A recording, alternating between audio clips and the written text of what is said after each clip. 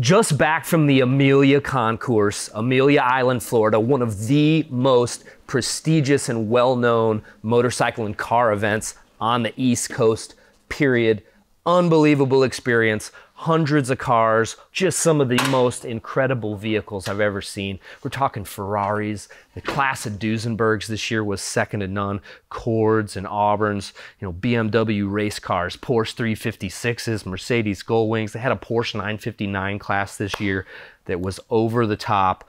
One motorcycle class this year and they invited three entries from Wheels Through Time that we're incredibly proud of. Now, they left the choice up to us. So today I'm going to tell you exactly why I chose the bikes that we brought, what makes them so special, and exactly how they did at the show. So, what we're standing right in front of, uh, first and foremost, uh, the 1914 Harley Davidson A Motor Factory Racer. Only example like this in the world period. Now, 1914, Harley Davidson's first year for the racing program. So very like pivotal time in Harley Davidson history. Early on, Harley kind of had the hands-off approach to racing. So we make sturdy and reliable motorcycles. If you see a Harley Davidson win a race, it's not us. We don't do the dangerous part of motorcycling. We build them to ride. So uh, very quickly, Harley Davidson realized that you have to race. When you win on Sunday, you sell on Monday. They saw the other manufacturers having success getting their name in the paper and selling motorcycles. So in 1913, Harley Davidson hired Bill Ottaway, one of the geniuses of the early 20th century as far as motorcycle design go. And Ottaway, within a year, got Harley Davidson's racing program lined up, ready to go. The Dodge City 300 race was Harley's initial team debut. This motorcycle was very likely right there at Dodge City. So this bike, 1914, and every piece on the bike is really special racing equipment designed specifically for Harley Davidson's very first racing team. So uh, the engine, the center of the bike, the 1914 Harley Davidson A motor, uh, big intake, narrow crankcase, special manifold, special oil pump, every piece on this engine is designed to make Harley Davidson uh, go faster. So the stock stuff at this time, pretty sturdy, pretty industrial, very reliable. The Harley Davidson race engine for 1914 was really an all new setup that they would carry for a number of years forward. So big rivet tank. Now the Dodge City race, 300 mile road race you need a big gas tank. So this big riveted gas tank, they put the rivets in, rivets in for extra strength, uh, gas on this side, gas on this side, oil. Now the big tanks, they'd get you most of the way there, maybe probably a third of the way there really. So we're talking a couple refills. Now in order to do the refills, they'd keep this bike running. Most of the bikes of this era, racing bikes, no brakes, no clutch. This one's been set up with both. So over on this side, you've got the clutch lever that operates the rear wheel clutch, and you've got a back pedal brake connected to your pedals here uh, that operates the drum in the back. So different than most of your standard Harley Davidson racing bikes of the teens. Uh, this bike, road race example, drop handlebars, big wheels, but it's got the big gas tanks, got the clutch, got the rear back pedal brake. So reason I chose this bike, first year example for a Harley Davidson racing motorcycle. It's the only one known. And uh, we know that Harley Davidson over the next 10 years would dominate racing in many forms, and uh, very, very few Harley Davidson board track racers left today. This is the only first year example.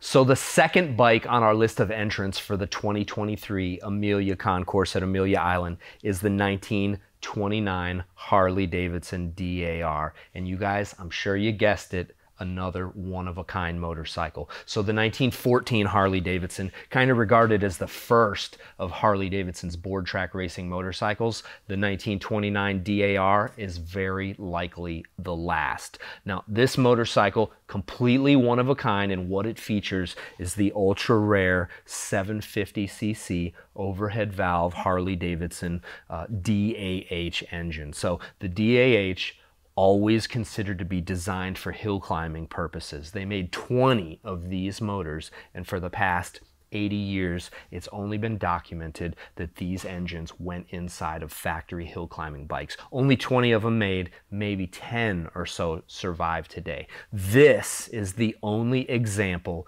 in a track racing chassis, and this bike is absolutely as original as they come. Uh, bike produces incredible power. This is coming from a time when they're racing 61 cubic inch pocket valve motorcycles, the 750cc four port overhead valve engine, 120, 125 mile an hour motorcycle. Incredible speeds, incredible power, a fraction of the displacement. So incredible motorcycle. This bike, original as they come, original factory orange paint, one of a kind chassis we've actually had a chance to get this bike out and race this motorcycle. My dad jumped on it at the Wauseon Antique Bike Meet, made laps at the half mile, uh, cushion track, out racing against uh, some of the most historic and well preserved racing motorcycles anywhere in the world. Unbelievable opportunity to race a bike of this historic magnitude. So, when we choose a motorcycle for a show like Amelia, it's not just physically what the motorcycle is, just as important as what the bike is and where it lands on the timeline is the story behind the bike. This bike, one of the best stories inside of the museum here. My dad actually found this motorcycle in 2009 in a barn in Kansas, uh, hung on the fella's wall there. Now, when he found the bike, it was missing the engine. They only made 20, so you can imagine impossible task at hand for him to chase down a 750 overhead motor that fit into this motorcycle. Uh, being the one of a kind guy that he was, a week is all it took him to find an engine to drop into this chassis and wouldn't you know it it was the actual motor that came out of this bike not just one of the 20 but the actual one so this machine uh, that 750 engine hill climbers base minimum equipment. Up the hill, 20 seconds is all they're running, 500 feet at a time or so. So everything's exposed. Springs are exposed, push rods are exposed, base minimum oil pump. This engine is the only one known with what we call features of duration of use. So throttle controlled oil pump. You can see as you twist that throttle, the oil pump actually actuates. Push rod enclosures to cover up the push rods, keep dust and dirt and grime out. They've got these valve spring enclosures up top that keep dust and dirt out of the springs and guides and valves, uh, keep everything clean and, and dry up there. That being said, they plug the crankcase vent and they tap into the cam chest and they run an oil vapor system to lubricate your valve guides. One of the biggest pieces that wear out on the overhead valve engines, the early days, uh, is the top end. So the intake valves, exhaust valves, no way to get lubrication up there early on. That's why only racing examples had the overhead valve top ends all the way up through 1936, uh, at least with the twins.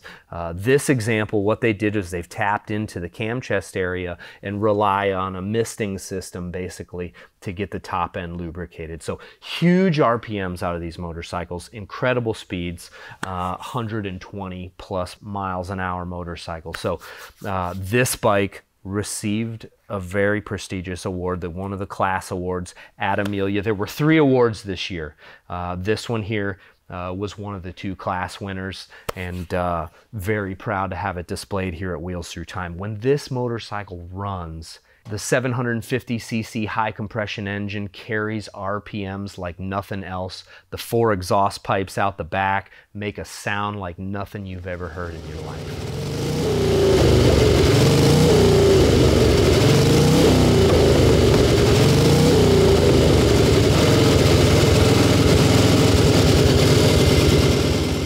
So, of all the incredible motorcycles invited to the board track class at the Amelia Island Concours this year, first prize, best in class, went to none other than our 1909 Reading Standard Racer.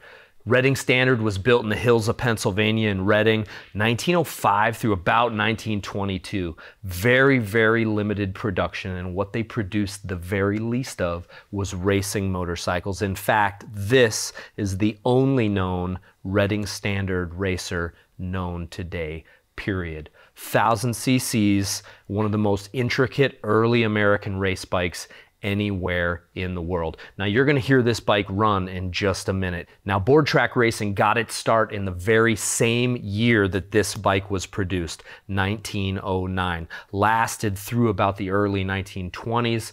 Uh, a few tracks carried on a little bit later than that. This motorcycle is one of the very few bikes at the show this year to strictly race on the board tracks. A lot of machines, boards and dirt. They were kind of used interchangeably. This bike, board track racing machine only, little tiny two inch tires, of course, no brakes, no clutch. Uh, this motorcycle's got an incredible story. One of the reasons that I chose the bike uh, is it's from the most intricate era of racing. You know, primitive controls, throttleless carburetors.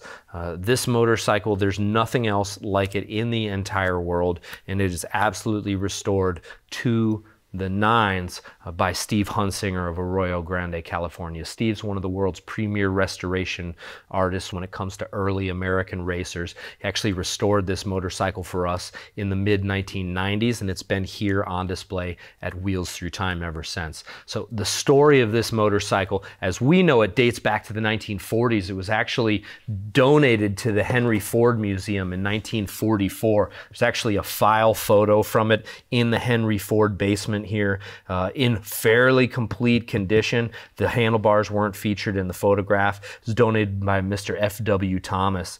So the motorcycle was actually lost in the basement until 1992. And if you can imagine, this motorcycle, as important as we know it is today, to be disregarded and lost, maybe to never be seen again, uh, is pretty remarkable to think about. So the motorcycle came to the uh, Henry Ford Museum's attention in 1992. They were actually cleaning house, selling some things out of the collection, and this motorcycle came up, was actually put in the Hemmings Motor News uh, for silent auction, and my dad was the lucky bidder by just a few dollars. So uh, today, it sits at Wheels Through Time as uh, the most intricate early American race bike in existence, uh, and at the same time, probably one of the most recognized and awarded motorcycles in recent times for his, its historic importance. So, uh, first class winner, guys, or best in class winner. So, the motorcycle itself 1000 cc's. I call it a primitive form of supercharging on this engine. It's actually got ports at the bottom of the cylinders.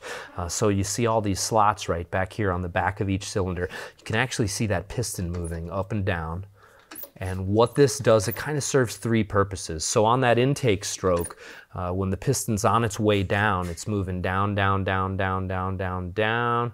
And as the top of the piston exposes the port or the port exposes the top of the piston, it takes in a cold air charge and traps that air back in the combustion chamber. So it's induction in excess of what that carburetor or valve will flow. Uh, on top of that, it also serves as crankcase pressure relief, and then it serves as a little bit of exhaust too. So this motorcycle, no brakes, no clutch, pedal start, the carburetor doesn't even have a throttle on it. You control your speed over on the right grip with the decompressor, lifts the exhaust valves, operates the timing, and then on your left hand here, you actually have an oil pump. You can imagine with these ports down at the bottom, really prone to fling some oil. Uh, and they actually set this up to replenish the crankcase with more oil without taking your handle or your hands off the handlebars. So, uh, best in class winner, guys. Amelia Island 2023. Uh, incredible showing of 10 of the rarest American board track racing motorcycles anywhere. Uh, happy to bring home some pretty significant awards, guys. So this motorcycle is on display right inside the front door here at Wheels Through Time. It's one of the first machines that you see. Make sure you come check this thing out with its brand new awards and all the history that it's associated with, guys. Incredible motorcycle. Make sure you subscribe, tune in, check out wheelsthroughtime.com, get you some raffle tickets on our 1937 Harley. Check out our membership program. We wouldn't be able to do what we're doing without you guys supporting the museum that runs, guys. Thanks a ton.